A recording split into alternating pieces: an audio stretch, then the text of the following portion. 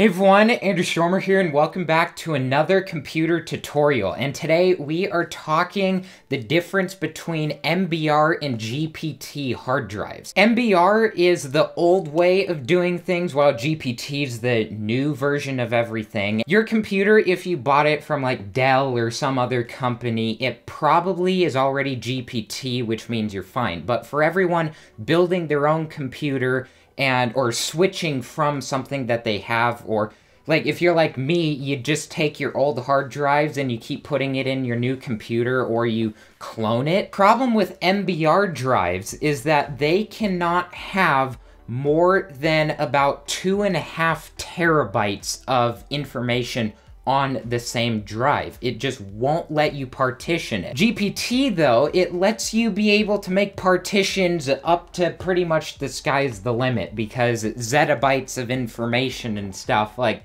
when are we ever gonna reach there? How I came across this is I was going to put in a 3 terabyte hard drive into my computer to expand my storage. In MBR, you can't have a 3 terabyte partition and not even a three terabyte partition where you could have a two terabyte partition and a one terabyte partition, but you only get the two terabytes. You have one terabyte of your drive that you actually cannot use whatsoever. You pay all this money for three terabytes and you can't even use all of it. So that's why you want to go GPT. The other reason you want to go GPT is because everything in the future is going to be GPT only. If you're running an MBR hard drive as your primary, as your boot drive, it has to run the BIOS firmware. UEFI firmware is what GPT requires. If you want to boot using a GPT drive, you have to boot using UEFI.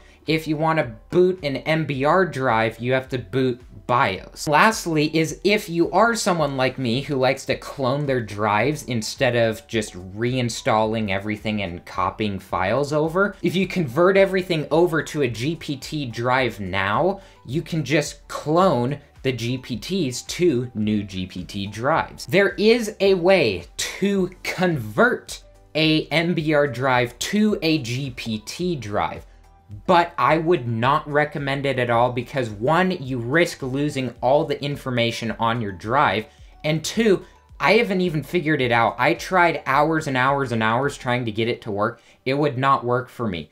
The super easy way that I found to make it work, you buy a new drive, you plug it in, you reinstall Windows to it, and you make sure you're booting UEFI, it automatically installs everything GPT.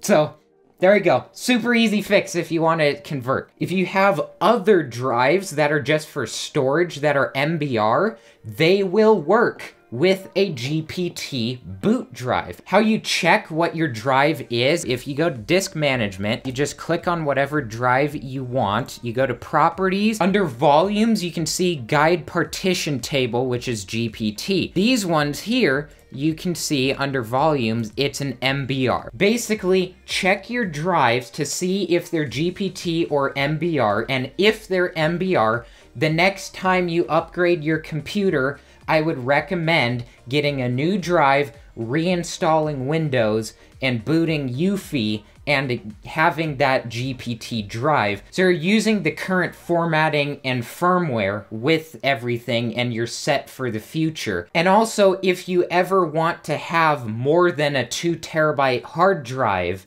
you also need to be using GPT. That's to do it for this one. This is just a one-off computer tutorial to add to the list of everything else. I made the computer tutorials, it was about 20 episodes a year ago, and uh, some of them, one of them's been doing really good. If you came here through that video, thank you very much, but I'm a gamer. I don't teach computer stuff all the time.